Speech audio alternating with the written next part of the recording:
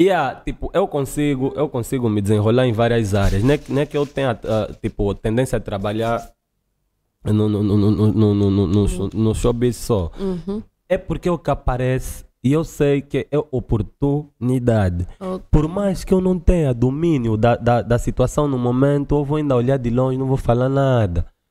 Aquele momento já estou a fazer a faculdade daquilo que estás a me mandar fazer. Eu analiso rápido, aprendo rápido, graças a Deus. E depois é só doing. Estou a fazer, estou a aprender, estou a fazer, estou a aprender. Porque cada, cada área da vida tem um bocado da outra.